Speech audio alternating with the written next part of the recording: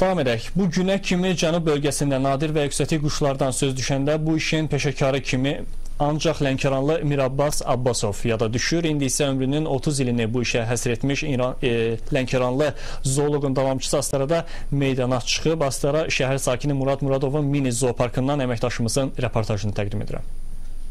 Görsən o quşların qanadının üstü belə qaradır, adıca çildir. Astara şəhər sakini Murad Muradovun həyatyanı sahəsində yaratdığı mini zooparkda bəslədiyi eksotik nadir quşları yerində seyr etmək, təmasda olmaq insanda xoş əhval, gözəl ovqat yaradır. Ən əsası, qışın cansıxıcı mənzərəsinə sanki əlvan rəng qatır. İxtisasca huşuna sulan Muradın quşlara sevgisi dediyinə görə uşaq yaşlarından başlayıb. İlk əvvəl meylini göyərçinlərə salıb, sonradan isə nadir quşların alüdəçisinə çevrilib. Bu qaraqanad tovuz quşudur birincisində. E, bu yavadır ki, yəni çox, yəni tovuz quşlarının içində ən bahalı tovuz quşu budur. Bunun özəlliyi həm boynun hündür olmayında, həm rəngində, həm də bizim gördüyümüz tovuz quşlarını görsəz, heç birində heç bir gözəlliyi yoxdur. Amma bunun toyuğunda da gözəlliyi var.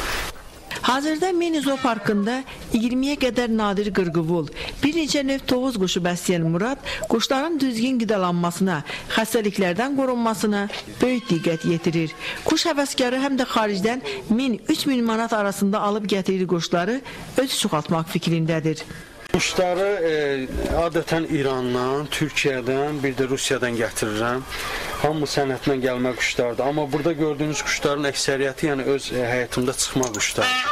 Bunlar qardaş 40 gün yəni karantin olunur. Bunlar karantindən sonra peyvəndləri olunur, yerlər dezinfeksiya olunur. Bir ay, ay yarım ərzində yəni bura öyrəşdirilir. Bunlar çöl şəraitində qalırlar. Yəni Azərbaycanın hansı bölgəsinə aparsaz, hər iqlimə öyrəşir, hər iqlimdə qalası quşlardır.